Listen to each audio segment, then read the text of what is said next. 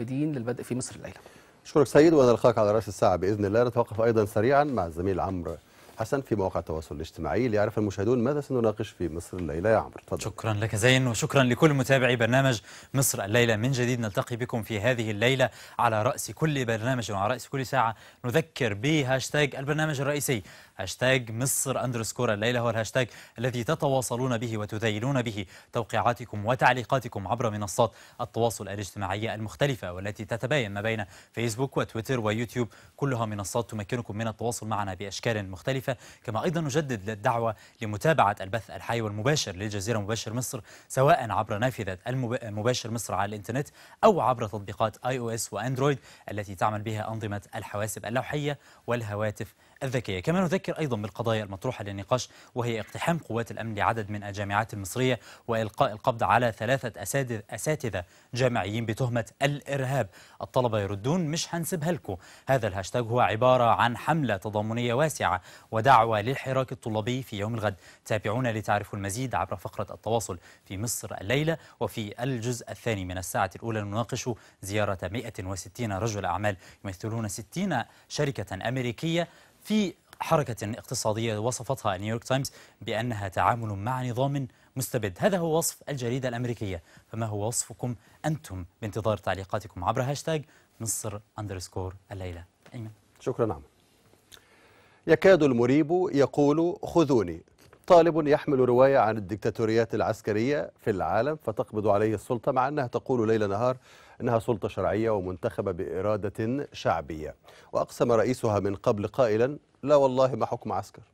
الرواية التي أدت بالطالب المسكين إلى السجن كتبها الأديب العالمي جورج أورويل صاحب رواية مزرعة الحيوانات ووضع عنوانا لروايته من أربعة أرقام 1984 ليس هذا هو الحدث الوحيد اليوم. فبعد أسبوعين من الهدوء الذي تواكب مع مراجعة ملف مصر الحقوقي في الأمم المتحدة عاد الأمن لعادته القديمة في الاقتحامات وبدأ بجامعة الأزهر بالغازي والخرطوش والهراوات وكان التدخل الأعنف في هندسة العاشر من رمضان حيث عشرات الإصابات. ومن جديد عادت المواجهات بين فالكون والطلاب في أزهر بني سويف. وأخرج الطلاب عناصر فالكون واقتلعوا بوابات الأمن. ولم يتوقف الأمر عند الطلاب فقد طالت يد الأمن الأساتذة واعتقلت بالأمس ثلاثة منهم في جامعة القاهرة بتهمة تشكيل خلية إرهابية.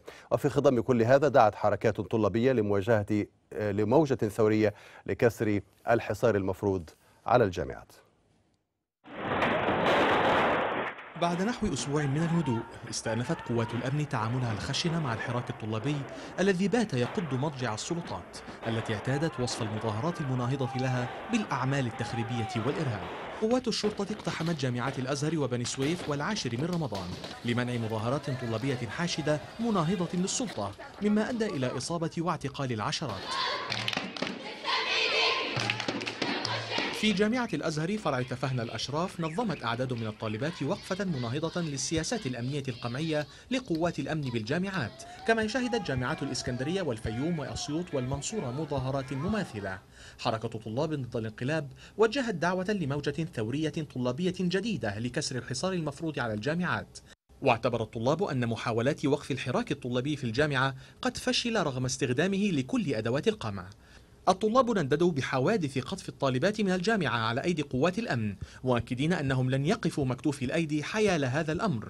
يأتي ذلك في الوقت الذي عبر فيه طلاب جامعة الفيوم عن رفضهم لقرار إدارة المدينة الجامعية فصل 24 طالبة من المدينة دون أسباب تذكر في مخالفة صريحة للوائح والقوانين. الحراك الطلابي المتواصل يطالب بالإفراج عن الطلاب المعتقلين ووقف التعذيب داخل السجون والقصاص لجميع قتلى المظاهرات. على صعيد آخر أكد رئيس جامعة الأزهر عبد الحي عزب استمرار الدراسة بشكل طبيعي بكل كليات الجامعة للبنين والبنات مشيرا إلى تمسك إدارة الجامعة بمواجهة أي محاولات لتعطيل الدراسة بالحزم والشدة وفق القانون واللوائح على حد تعبيره. يأتي ذلك في الوقت الذي يتم فيه تضييق الخناق على أساتذة الجامعات حيث اعتقلت الداخلية مؤخرا ثلاثة من أساتذة جامعة القاهرة بتهمة تشكيل خلايا إرهابية وهي التهمة التي باتت تلصق بأي أستاذ جامعي تكتشف الجهات الأمنية أنه معارض للانقلاب. ولمناقشة آه، هذا الموضوع أرحب بضيفي في استوديو مصر ليلى أحمد البقري نائب رئيس اتحاد طلاب مصر. أهلا وسهلا بك وسيكون معنا بالطبع ضيوف آخرون في ثنايا النقاش.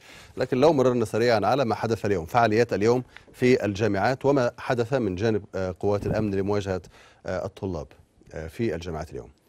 يعني في البداية بسم الله الرحمن الرحيم الأسبوع الخامس على التوالي وما زالت إرادة طلاب مصر تؤكد على أنها تستطيع كسر الحصار الذي الذي يريد فرضه عبد الفتاح السيسي على الجامعات المصرية من هيمنة عسكرية بكل ما تحمله الكلمة من معنى على الجامعات خلينا نقول اللي حصل النهاردة بالتحديد في الجامعات. آه، مشاهد متكررة من اقتحام آه، قوات أمن الانقلاب إلى حرم الجامعات.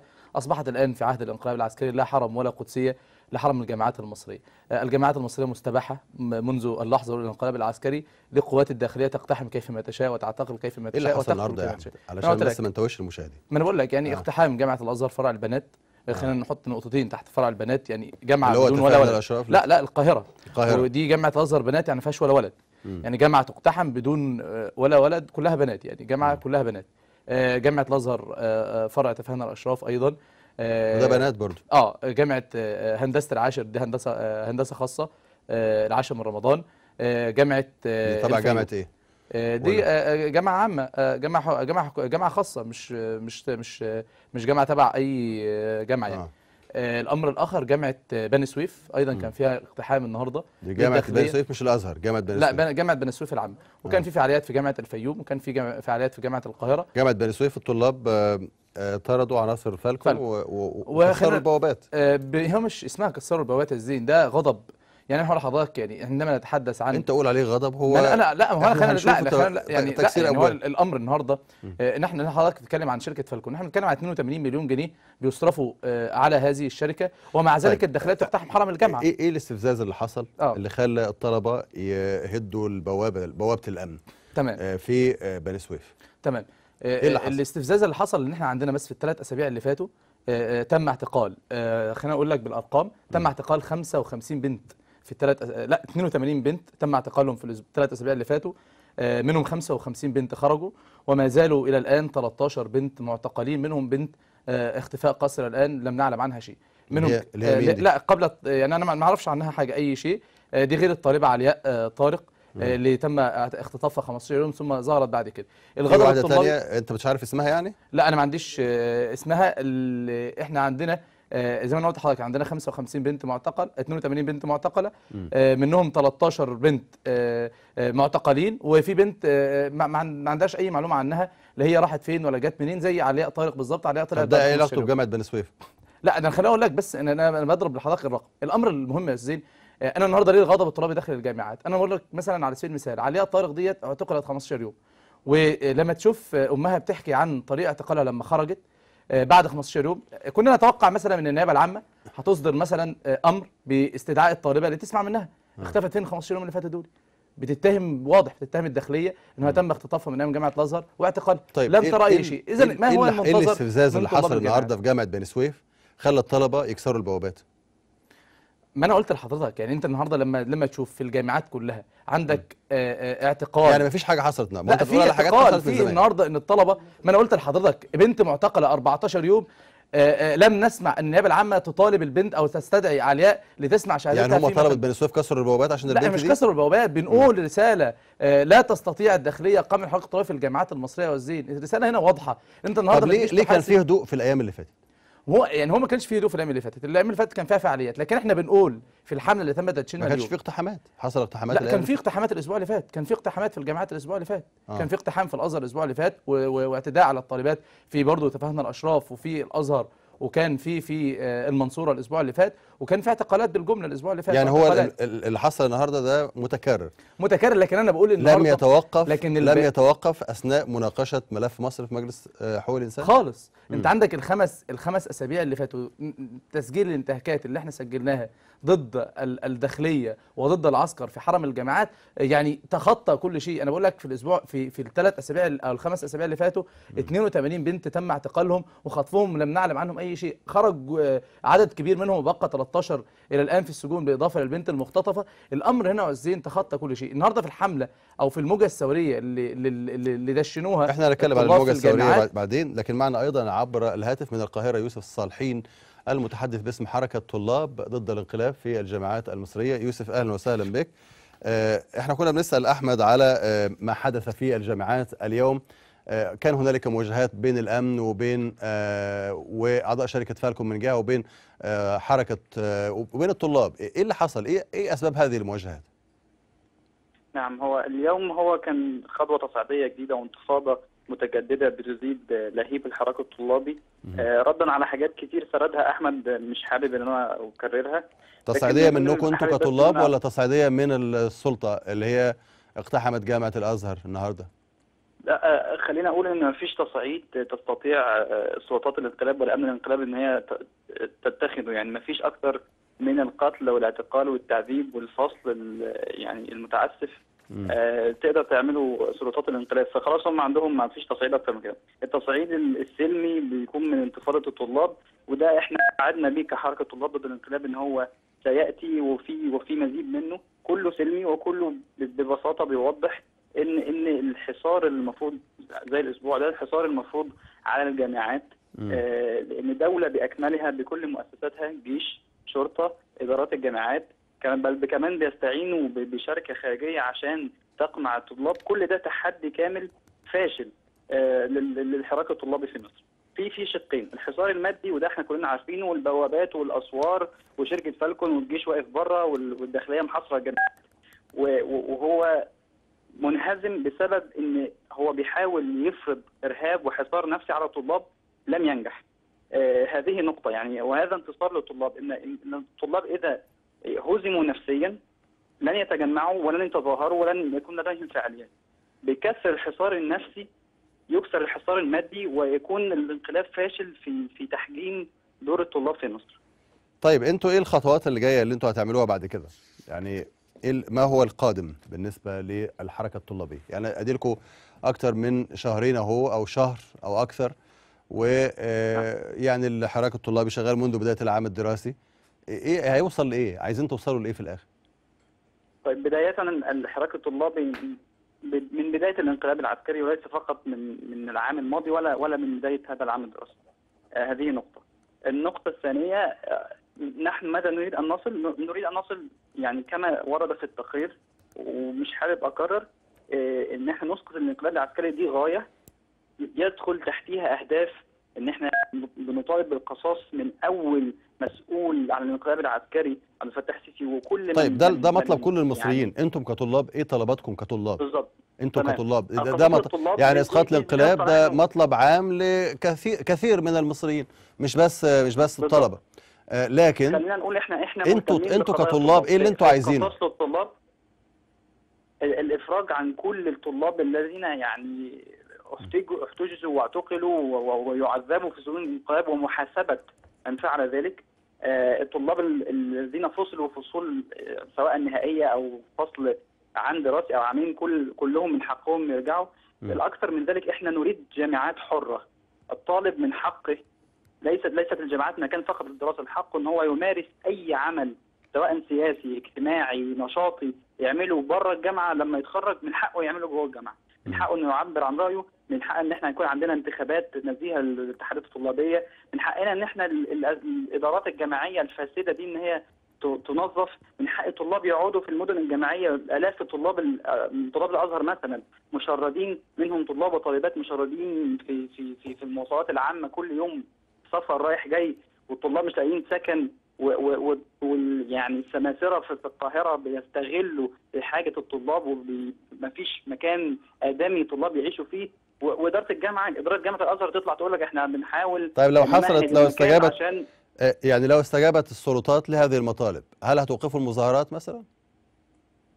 تمام دي المطالب الصغيرة تمام الهدف الكبير بقى إن إحنا نطالب بالقصاص من عبد الفتاح السيسي اللي تسبب وكان آه، انقلابه ومقتل مقتل لمئات الطلاب المصريين واعتقالهم وتعذيبهم. لو ده تحقق ماشي إحنا موافقين. أنه فيهم اللي تحقق المطالب الصغيرة ولا المطلب الكبير؟ لا المطلب الكبير يا فندم برضه. يعني المطالب الصغيرة دي هي هي أهداف صغيرة. إحنا في غاية كبيرة تدخل طيب. تحت كل الأهداف الصغيرة. ارجو ان تبقى معي آه، كبيرة. يوسف صالحين آه، متحدث باسم طلاب ضد الانقلاب في الجامعات المصرية معنا أيضا من بني سويف آه، محمد إبراهيم أحد شهود العيان على ما حدث في جامعة بني سويف اليوم. محمد أهلا وسهلا بك. احكي لنا اللي حصل. اللي حصل ان الطلاب انتفضوا في المجلس الثوريه الطلابية وفي فعالية جابت حرم جامعة بني سويف. آه، قام خلالها الطلاب بطرد افراد امن شركة فالكون تكسير البوابات الخاصة. بيهم آه، جت قوات الأمن اعتدت على الطلاب أطلقت آه، خرطوش والغاز والرصاص الحي. طيب احكي لنا بس من- آه، واحدة واحدة كده يا محمد. دلوقتي الطلاب خرجوا في مسيرة. بعد ما خرجوا في مسيرة تمام. هل هل حد تعرض ليهم؟ هل حد هل الأمن ضربهم؟ هل فالكون ضربتهم؟ هل حد أي حد تعرض ليهم ولا لا؟ ال- الأمن آه، القوات آه، فالكون كل يعني كل كل ما, ما الطلبة بيحاولوا يعملوا فعالية جوه الجامعة فالكون بتحاول تتصدى ليهم وتحاول إن هي تخلي الطلبه ما تعملش الفعالية لدرجة إن الفعالية اللي فاتت حاولوا يخطفوا طالب من. يعني حاولوا يعملوا إيه يعني؟ لأن لأن اللي أنا أفهمه إن تعاقد فالكون مع الجامعة ما فيهوش إن هم يدخلوا جوه الجامعة ويشوفوا ويشوفوا الطلبة بيعملوا إيه أو يتفاعلوا معهم هم بس بيشوفوا الطلب يدخلوا يدخل الجامعة ولا ما يدخلش؟ هل هم بيدخلوا جوه الجامعة وبيتفاعلوا وبيشتبكوا مع الطلاب؟ آه حصل يا فندم. حصل فعاليات كتير قبل كده طلاب ضد الانقلاب آه، مش عايزين اعلام رابعه وجم كلموا الطلاب بشكل مباشر إن إحنا مش عايزين فعاليات في الجامعة ومش عايزين اعلام رابعه ترتفع والكلام ده ما ينفعش يحصل في الحرم. وحاولوا يخطفوا طالب قبل ده ده من الامن الإداري؟ اسمح لي اسمح ده الأمن الإداري ولا ولا فالكون؟ فالكون يا فندم. فالكون. طيب النهارده بقى حصل إيه بالتحديد؟ النهارده بالتحديد آه، حاولوا إن الفعالية ما تتعملش بتاع الطلاب الطلاب اصروا إن الفعالية تتعمل وعملوا الفعالية بتاعتهم وتوزعوا على البوابات بتاع فالكون آه، آه، يعني جروا عليهم وكسروا البوابات. وطردوهم بره الجامعة خالص. طيب هم لما فالكون حاولوا الفعالية ما تتعملش حاولوا إزاي؟ يعني عملوا إيه يعني؟ بيتجمعوا حوالين الفعالية بي- بيحاولوا يجوا يكلموا الشباب إن ما تعملوش كده ده مش صح عشان مصلحتكم. هل اشتبكوا مع الشباب؟ هل اشتبكوا مع الطلاب ولا ما اشتبكوش؟ لا ما اشتبكوش. ما اشتبكوش. يبقى اذا هم ما اشتبكوش مع الطلاب بس الطلاب كسروا البوابات؟ تمام. آه يعني الطلاب هم اللي كسروا البوابات من غير ما تشتبك بيهم فالكون. من غير اشتباك آه. طيب وبعد كده إيه اللي حصل بقى؟ الجا... الأمن بقى عمل إيه بعد كده؟ أحب أحب أوصل لحضرتك إن إحنا عندنا في جامعة بني سويف 16 طالب مطلوب فصل نهائي. كل تهمهم آه، هتافات مسيئه للشرطة والجيش ورفع شعارات رابعة و... و... وتظاهر داخل الجامعة وحاجات من دي. آه أنتوا عندكم 16 طالب مفصول فصل نهائي. آه هل الأمن اقتحم الجامعة بعد كده ولا حصل إيه بعد كده؟ لما حصل اشتباك مع اقتحم قوات الأمن جت بره الجامعة وضربت من بره الجامعة واقتحمت الجامعة وطلعت بس ما اعتقلتش حد. آه تمام. أشكرك شكرا جزيلا محمد إبراهيم. شاهد عيان آه، من جامعة بني سويف حسب شهادته فإنه آه، حاولت آه، أفراد شركة فالكون منع فعالية للطلاب لكن لم تشتبك مع الطلاب. بعد ذلك قام الطلاب بكسر البوابات شركة فالكون البوابات الأمنية ثم آه، ضرب الأمن غاز مسيل للدموع داخل الجامعة ودخل واقتحم الجامعة ولم يعتقل أحدا دي شهادة ده ملخص شهادة محمد إبراهيم وهو طالب من جامعة بني سويف. معنا عبر الهاتف من القاهرة أحمد شعبان مسؤول طلاب 6 أبريل بالجامعات المصرية آه، في دعوة آه، أحمد شعبان لموجه ثوريه لكسر الحصار المفروض على الجامعات هل أنتم آه، جزء من هذه الموجة؟ طيب هو بس في البداية آه، كطلاب 6 أبريل آه، عندنا بعض الملاحظات أو الانتقادات على آه، عمل واليه تحركات طلاب الانقلاب وكذلك هدفهم بعودة مرسي وشريعته المزعومة ونرى أنها ليست في صالح الحركة الطلابية هو معاركها فيما يخص الحريات الأكاديمية ومبدا استقلال الجامعات. آه، وكذلك استغلال النظام لبعض الممارسات اللي تمت مثل زي ما شهادة الزميل من شوية عن تكسير البوابات دون التدخل من أمن بالكل وان الممارسات دي بيستغلها آه، سواء الابواق العلنيه المستهدفه من قبل النظام والنظام عامه للهجوم على الحركات الطلابيه داخل الجامعات أو خارجها. آه، لكن في نفس الوقت آه، في نظام آه، لا يستمع صوره وصوته هو من يعيده وتشريع لقوانين وإجراءات وهدفها الرجوع إلى عصور ولد ولن تعود واعتقال الطلاب من المنازل آه، وقتلهم وفصل العديد من الطلاب آه، بفصل نهائي وكمان ب طب- آه، طب أنتوا هتعملوا إيه؟ آه، أنتوا هتعملوا إيه بالظبط؟ حتى الآن آه. حتى حتى الآن آه، تم تاسيس آه، فئات طلاب مصر ل- بضم عدد من آه، آه، التيارات السياسية والكيانات السياسية والاحزاب السياسية. النهارده في بيان طالع آه، طالع الائتلاف- بفصل 10 الائتلاف- طلاب فصل نهائي. هو جامعة بني سويف كان فيها النهائي 16 طالب فصل نهائي. وفي آه. وفي 12 طالب تم فصله النهارده صحيح. كذلك برضه. الفصل الفصول بكل ده زي ما قلت لحضرتك إن هي الممارسات اللي بتتم من وائتلاف ائتلاف طلاب مصر في أحد ممثليه معتقلين. أنتوا بقى هتعملوا إيه. باعتباركم جزء من ائتلاف طلاب مصر؟ حتى الآن أنتوا الآن. إيه ال- إيه الفعاليات- اللي ناويين تعملوها في المستقبل طب النهارده كان في فعاليات في جامعة المنصورة باسم ائتلاف طلاب مصر بتنص على التعريف بالحقوق الطلابيه والحقوق الطلابيه بتنص على ضرورة آه، إخراج كافه المعتقلين من الطلاب آه، على أساس سياسي وكذلك آه، رجوع كل الطلاب وإلغاء كافه القرارات ومشاريع القوانين اللي بتتم داخل الدولة. آه، البداية كانت مثلا النهارده في جامعة المنصورة سبق فيها فعالية في جامعة حلوان وكذلك في جامعة عين شمس وكان سبقهم فعاليه في جامعة آه، القاهره. فهتستمر الفعاليات والتحركات اللي بتنص أو طيب اللي بتطالب. آه، إحنا بإصدار- استمعت معانا إلى آه، إلى يوسف صالحين المتحدث باسم حركة طلاب ضد الانقلاب في الجامعات المصرية. هدفهم النهائي آه، هو إسقاط الانقلاب. أنتوا إيه هدفكم النهائي كطلاب آه، 6 أبريل وائتلاف طلاب مصر؟ والله هدفنا النهائي كطلاب 6 أبريل آه، آه، وطلاب ائتلاف طلاب مصر. هو آه، آه، استمرارية الثورة، تمرير ثوره 25 يناير ومطالبها وتحقيق مطالبها اللي تمت بالعيش والحرية والعداله الاجتماعية، وكذلك كطلاب دورنا هدفنا إن يكون في مجتمع آه، تعليمي منظم ويكون في حياة أكاديمية موفرة للطلاب حقوقهم بكافه الحقوق بكافه الحقوق سواء الحريات السياسية أو تعليم جيد أو كذلك برضه هو- في استمرار الثورة ده-. اسمح لي. يعني اسمح لي استمرار الثورة ده مش في ممكن يكون هدف. يعني الثورة الثورة دي وسيلة مش هدف. الثوره مش قضيه طبعا مش مش مش غاية. ولكن في النهاية آه، آه، بإصدار الثورة وتحقيق مكاس- مكاسبها هو في النهاية تحقيق أهداف الثورة. ونجاح للثورة كذلك. هل إسقاط الانقلاب جزء من من أهدافكم ولا. مش جزء من أهدافكم؟ وأعتقد وأعتقد إنه مفيش خلاف عليه من أي آه، من أي حد يعني. طيب هل إسقاط هل. إسقاط الانقلاب أحمد شعبان هل إسقاط الانقلاب يعتبر جزء من هذه الأهداف ولا ما يعتبرش جزء من هذه الأهداف؟ على حسب توصيف الانقلاب. إحنا شايفين ان الانقلاب اللي تم أو في انقلاب على على ثورة 25 يناير وأهدافها ومطالبها. ولكن ليس انقلاب على مرسي وشرايطه المدعومه ده ده كطلاب في ابريل وأعتقد كمان إن بتكلم باسم ائتلاف طلاب مصر كذلك يعني. ده ده هدفنا وده ده شايفين الانقلاب اللي تم. هو انقلاب على على ثورة 25 يناير وما وما أنا عارف إن وما- أنتوا آه، إن أنتوا شايفين الشريعة. إنه في انقلاب تم لكن هل أنتم من ضمن أهدافكم إسقاط هذا الانقلاب الذي تم؟ طيب آه، الأهداف اللي موجودة والمطالب اللي بنطالب بيها وبتتم فيها هي في النهاية ازاحه هذا النظام عن عن عن السلطه القائمة آه. وأعتقد إن المطالب اللي بنتكلم فيها وإن اهداف الثوره مش هتتحقق إلا خاصه في وجود نظام آه، عبد الفتاح السيسي ونظامه طيب، وبنفس ده هدف-. ده هدف. يعني تقريبا هدف مشترك بينكم وبين طلاب ضد الانقلاب مش آه، بشكل مباشر ولكن الالات مختلفه بشكل كبير جدا يعني ماشي لكن. إيه إيه إيه عودة الاختلاف بقى في الوسائل أنتوا وسائلكم أنتوا وسائلكم إيه؟ مش على قوائمتنا آه أنتوا وسائلكم إيه وهم وسائلهم إيه؟ يعني إيه الفرق بينكم في الوسائل؟ أعتقد إن حتى الآن اللي تمت على مدار ثلاث سنين وما سبقت سبق الثوره لم يتم التدخل من آه، لم يتم إحراق آه، آه، آه، مجمعات آه، آه، مدرجات لم يتم اقتحام مدرجات ولا أماكن مدى كليات. ما فيش أي مبرر كان على مدار ثلاث سنين فاتت بعد الثورة إن إن الأمن يقتحم الجامعات.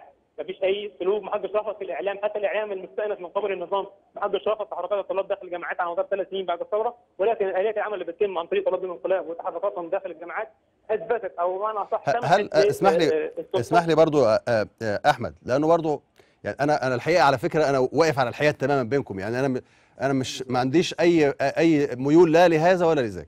لكن آه، لما تقول إن هو الأمن اقتحم الجامعة بسبب تصرفات آه، طلاب ضد الانقلاب ده برضو جزء من الصورة. الصورة الأعم هو- الصورة الأعم هو إن هو كده كده هو بيقتحم كل حاجة. مش بس الجامعة هو بيقتحم كل حاجة. بالظبط بالظبط بالظبط. آه. هو مش القاء اللوم الكامل على طلاب الانقلاب ولكن أنا بتكلم عن الممارسات اللي بتتم اللي بتنفر بقية الطلاب من التحركات داخل الجامعات. زي إيه بقى؟ إيه؟ الممارسات اللي أنتم معترضين عليها؟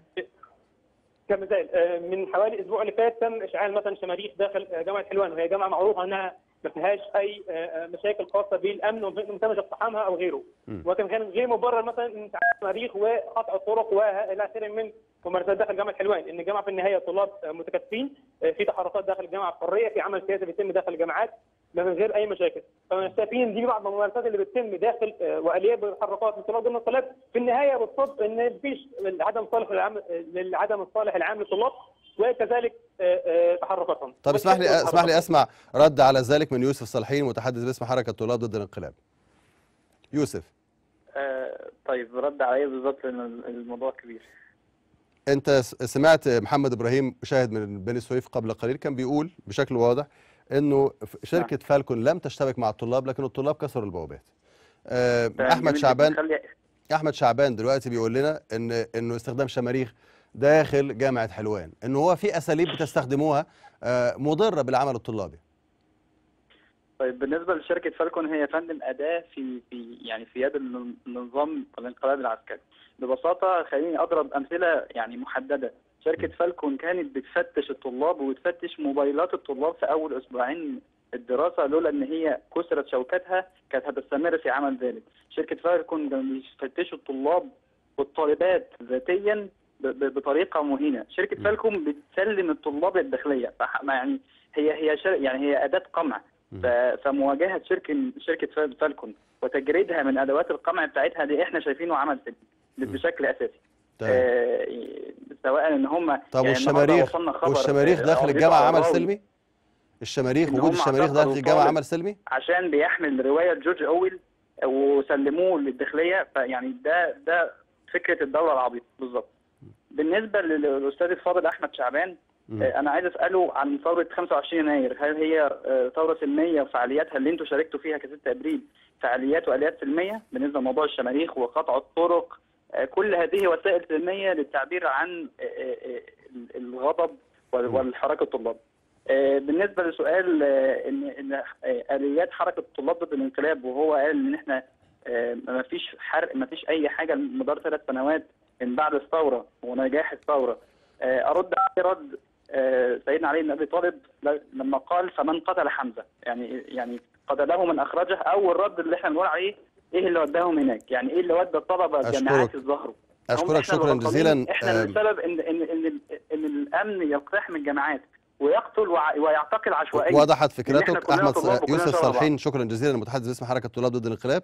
آه وأشكر أيضا أحمد شعبان ومسؤول آه، طلاب 6 أبريل بالجامعات المصرية. نشوف أيضا مشاهدينا عبر مواقع التواصل الاجتماعي تعليقاتهم على آه، ما حدث اليوم خصوصا اعتقال الطالب اللي كان شايل رواية 1984 في الحقيقة كان هناك موجه من التعليقات الساخرة المنتشرة على مواقع التواصل لكن في الواقع زين غلبت هذه غلب على هذه السخ- السخرية العديد من حركات التنظيمية على مواقع التواصل الاجتماعي الداعية إلى الحشد الطلابي ابتداء من يوم غد بداية مع هاشتاج مش هنسيبها لكم هذا الهاشتاج تحول إلى صفحة على فيسبوك هي دعوة مباشرة إلى التظاهر بدءا من يوم الغد تحديدا في حرم جامعة القاهرة. تم تحديد موعد الساعة 12:30 قدام المكتبة المركزية وفي النهاية هذه الدعوة لم تقتصر فقط على جامعة القاهرة وإنما امتدت حتى لتصل إلى طلبة الثانوية العامة. حركة طلاب ثانوي ضد الانقلاب كتبوا أيضا على ذات الهاشتاج اللي هو مش هنسيبها لكم محاصرون ولكن صامدون فلتخبروهم أن إن يقتلونا أو يفصلون أو يسجنون إن يفعلوا ما يفعلوا. قلنا مرارا اننا لن ننحني لن ننثني ولن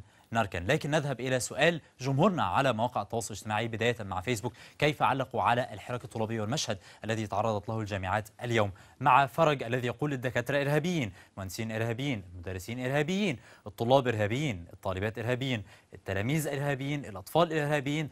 طب مين بقى المواطن الشريف لما كل دول إرهابيين؟ نرمين تقول تعامل تعامل النظام بهذه الطريقة الغاشمة مع الطلاب هيزيدهم إصرار وتحدي لتحقيق حريتهم وأخذ حق زملائهم. مزيد من التعليقات مع محمد الذي يقول سيسي بطل الإرهابيين في العالم هكذا يصفه. ويتهم الشرفاء بالإرهاب من يقتل المتظاهرين بدم بارد. أليس إرهابيا وجب على الطلبة أن يرفعوا شعار الموت لا المذلة وذلك وفقا لتعبيره. أيضا ابن مصر يقول ولسه أنتوا شفتوا حاجة رئيسنا قال الجامعة مكان تعليم مش مأوى للإرهابيين. هو بذلك ينحاز إلى وجهة نظر مختلفة. كمال بلال على تويتر يقول استحالة النظام يهزم الشباب المصري وما فيش تنازل عن أهداف ثورة الخامس والعشرين من يناير. على ذات النوعية مستمرة التعليقات والتغريدات مع أشرف. ما فيش طالب اهتم بدروسه أو عمل أو اخترع أو ألف كتاب أو اكتشف حاجة بس سمعنا طالب لابس متشيك رايح الجامعة وغيره بيتظاهر وبيعتقل. هو بينتقد أنه لماذا لا ينضم قطاعات أوسع إلى الحراك الطلابي. هيدي تقول في الجامعات كوميديا الإخوان المستمرة. معتبرة هذا الحراك الطلابي قصر يعني مقصور على الإخوان وأيضا من ضرب الكوميديا. آدم سميث هكذا هو اسم الحساب. يقول تسلم الأيادي اللي ضيعت وقتلت ولادي. لكن هناك أيضا مزيد من الهاشتاجات اللافتة للانتباه. هي يا إدارة ما بنخافش وأيضا مش هنسيب الحق ورفع الحصار أو الفوضى. يعني يا ده يا ده.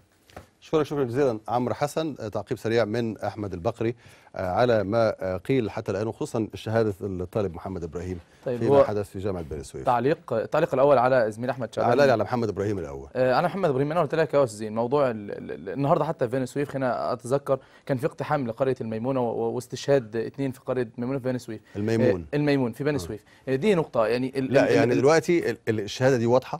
إن هو إن هو ال- الطلبة راحوا كسروا البوابات؟ لا هم هم دون أن يحتك لا بهم هو قال إن الطلبة هو الملاحظ داخل الجامعات يا أستاذ زين. وده اللي قاله آه، أغلب رؤساء الجامعات إن في كاميرات موجودة داخل مكاتب رؤساء الجامعات بيست بي- بيستخدمها آه، مع عناصر شركة فالكون لتسليم الطلاب داخل لل- لل- لل- للداخلية. لكن الملاحظ في كل الجامعات بلا استثناء ولم تكن جامعة بني سويف منعزلة عن باقي الجامعات إن أعضاء شركة فالكون هم من يقوموا بتسليم الطلاب داخل الجامعات. أشكرك. وأنا بس نقطة مهمة في موضوع أحمد شعلان ان هو تكلم كثيرا في عدة أمور. الأمر الآخر ائتلاف طلاب مصر اعتقل أنس سلام عضو ائتلاف طلاب مصر ومسؤول العلاقات الخارجيه في اتحاد طلاب مصر ولم يتحرك ائتلاف طلاب مصر حتى لم يصدر بيان إعلامي. آه، آه، ال- الحملة مستمرة و- ومن. يريد أن يلحق بالحراك الطلابي أن ينزل على الأرض وان يقدم تضحيات. ولا يتحدث في وسائل الإعلام شكرا جزيلا أحمد البقري نائب رئيس اتحاد طلاب مصر شكرا شكرا جزيلا وما زلنا معكم في مصر الليلة وفي البرنامج بعد الفاصل